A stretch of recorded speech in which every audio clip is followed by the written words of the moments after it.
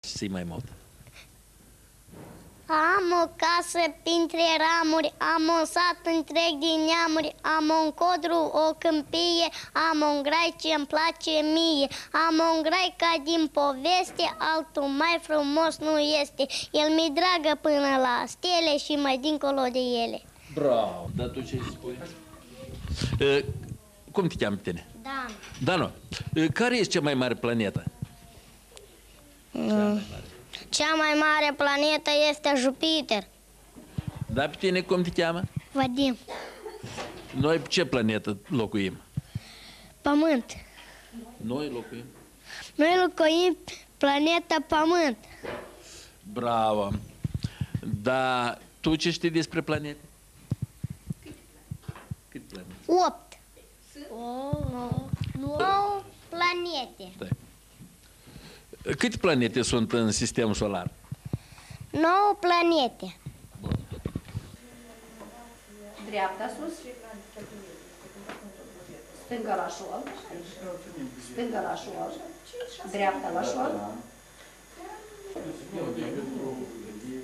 Mânuși înainte.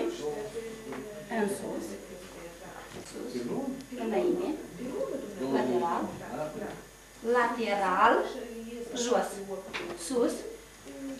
Înainte. Jos. Lateral. Acum hai să ne gândim. Bravo. Andreana.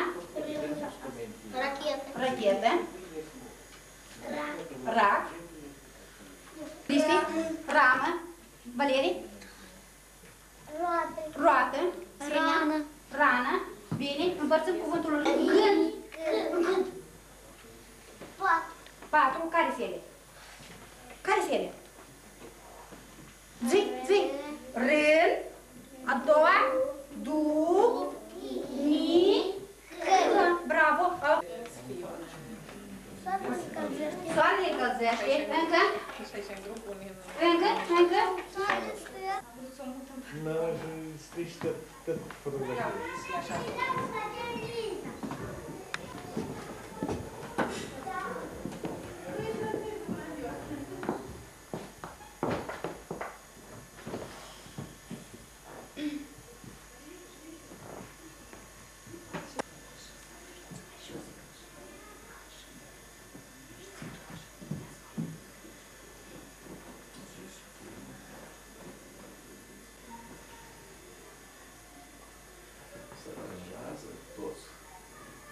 Черкасской. Как ты, а у Раши, не казаешь, что ты это, вот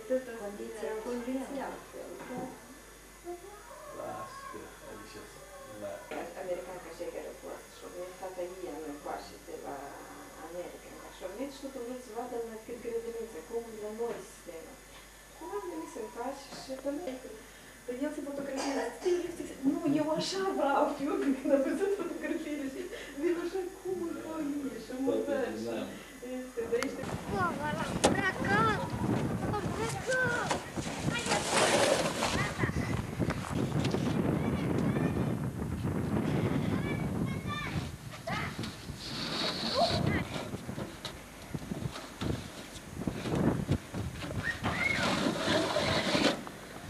Da!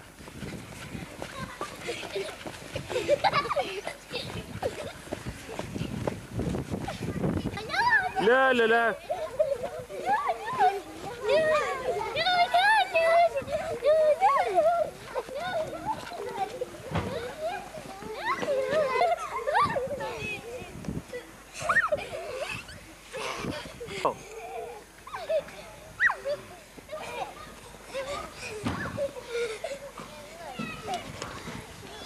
خدتك واسطة خدت Cine se urcă?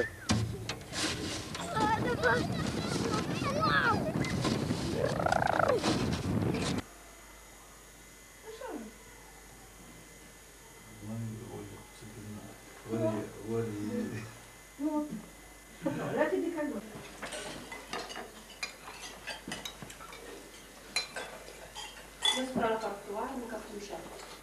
Purica mâna. Numai decât cu mâna că suntem.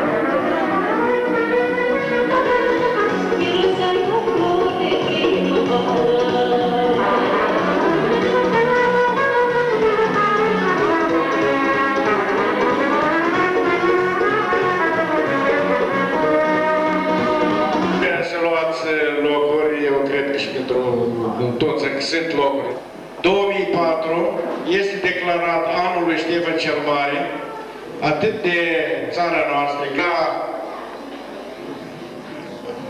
plecarea în neființă a celui mai vrednic neam, cel mai vrednic eh, conducător în neamului nostru, Ștefan cel Mare. Și iată noi ca toți prezenți aici, cei care nu sunt prezenți, strănii poții lui Ștefan cel Mare, am găsit de cuvință și găsit de cuvință, sunteți toți de acord probabil cu mine, ca să aducem astăzi un omagiu, uh, o odă, să-i spunem, o slavă lui Ștefan cel Mare și Sfânt Domnitor, fostul Domnitor al țării Moldova. Pentru a începe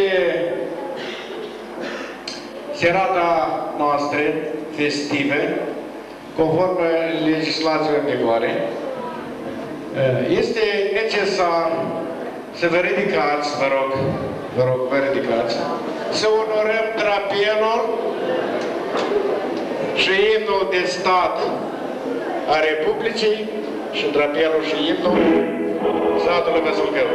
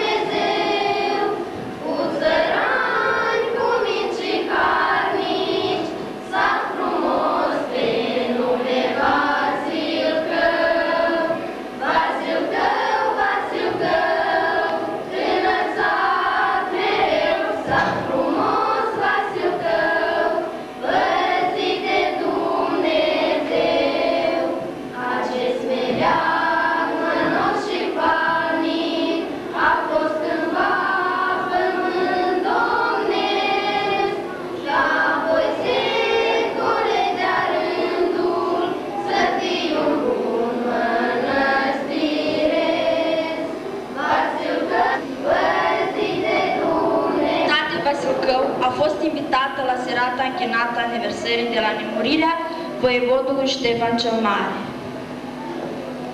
Cum moare o țară tu nu o să-l cunoști, când sună fanfara chemare de oști și buciumul sună pe văi și pe plai și oastea se adună călare pe cai. Rugăciune. Recită Țurac Tatiana, eleva clasei a 11-a școala medie Vasilcău.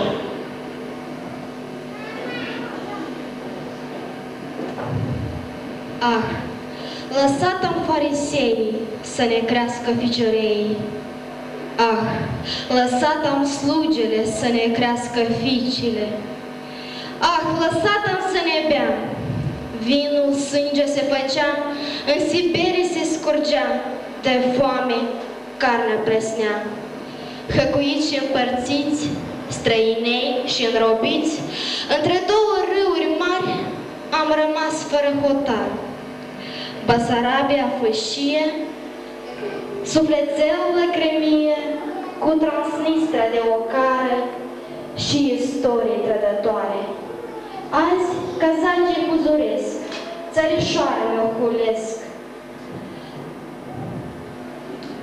Dar rămas un os domnesc cu piciorul îl strivesc. Alfabetul și cuvântul ne-l blesteamă și le avântul.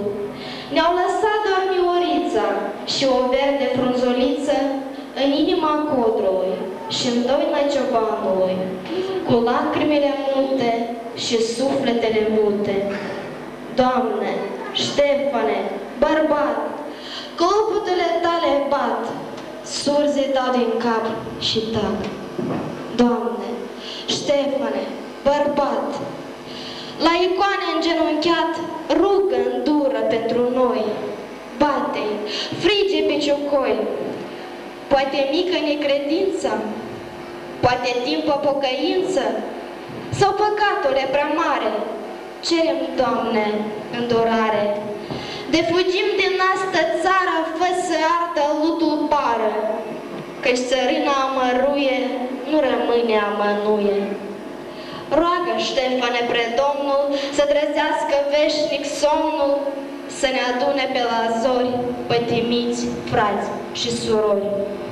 Doamne, Ștefane, bărbat, la icoane îngenunchiat, rugă îndură pentru noi, bate frige pe ciocoi. Mulțumesc. Cel puțin o dată o istorie, un ceas al lui.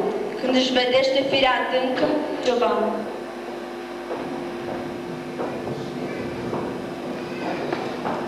Amului până în prezent nu se cunoaște. Este Vlad Dracul, voievodul țării Ernelii. Tată, domnitorul țării Moldovei, Bogdan, Bogdan al II-lea, domnește în anul 1949-1451. Ficior, ficiorul lui Alexandru cel Bun, bastar, adică copil apărut din flori sau nelegitim al lui Alexandru cel Bun. De unde reiese că Ștefan cel Mare Că neagră, într-un vechi castel, unde cură în vale un râu mititel. Plânge și suspină tânăra domniță, dulce și soavă ca o gărofiță, căci în bătaia soțului, în bătălia soțul ei dorit, a plecat cu oastea și n-a mai venit. Ochii săi albaștri ard în lacrimele, cum lucesc în rouă două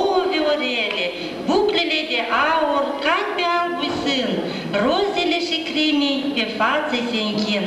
Însă doamna soacră lângă ea veghează și cu dulci cuvinte o îmbărbătează. Un orologiu sună noaptea în jumătate, în castel în poartă, oare cine bate?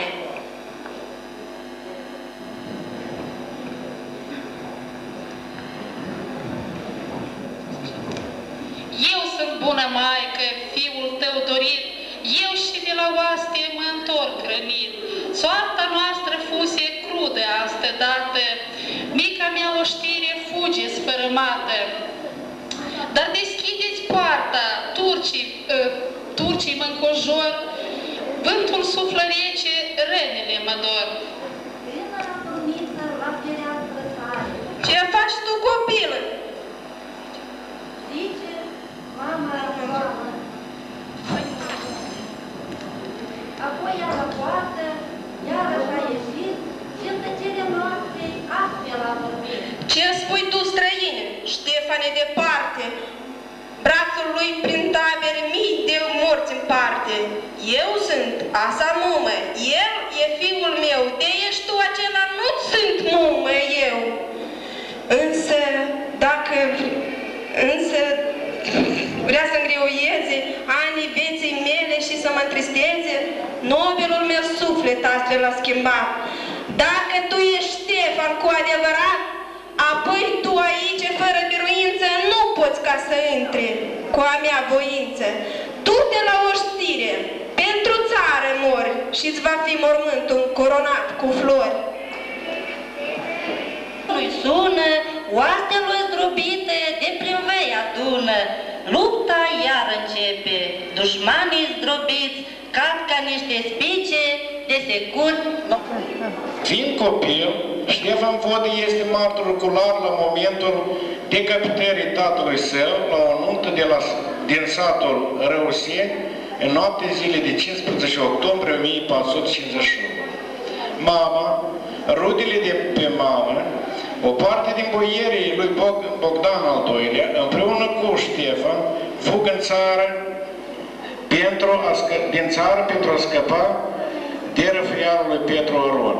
Până în aprilie 1457, ei pribejesc prin Transilvania, în țara Pârții, numită Brașov, fie la castelul din Hunedoara, având ca sprijin pe Vlad Țepeș.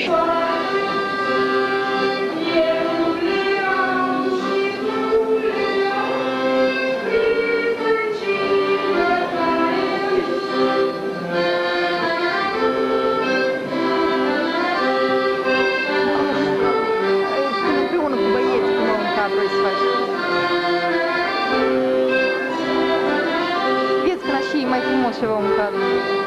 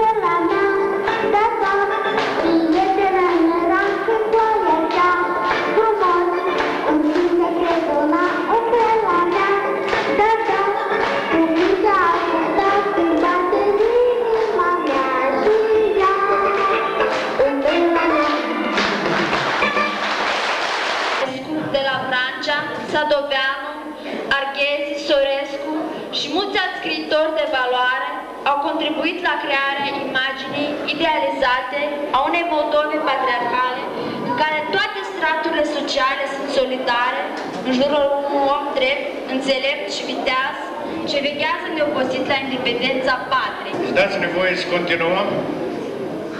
Așezarea țării. În timpul venirii la domnia lui Ștefan cel Mare, țara Moldovei își pierduse independența, fiind dependentă de Polonia și Ungaria, care dețineau cetățile Hotinului și Chiliei și plăteau tribut porții otomane. Depășirea acestei situații se putea înfăptui prin întărirea puterii domnești, adică La, de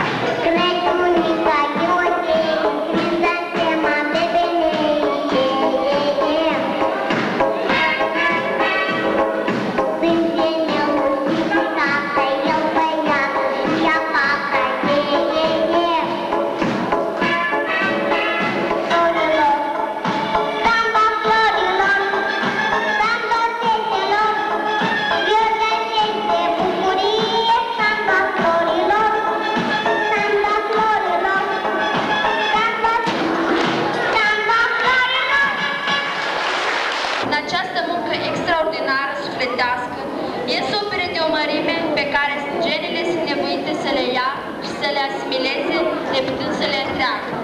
Coriciova. Câteva cele mai importante date cronologice tipul activității de domnia lui Ștefan cel Mare. În afară de cele care au fost enumerate mai sus sau vor fi enumerate mai jos. Anul 1459, în 57, mă amintesc când de vine la domnie. Este semnat tratatul de pace dintre Moldova și Polonia, prin care Moldova își recaptă independența. 1462. Ștefan asedează cetatea Chilie, stăpânită de munteni, asediul încetează din cauza fracturii crezi de piciorul stâng a domnitorului. 1465, 23-26 ianuarie, Ștefan cucerește cetatea Chilie de la munteni. 1465,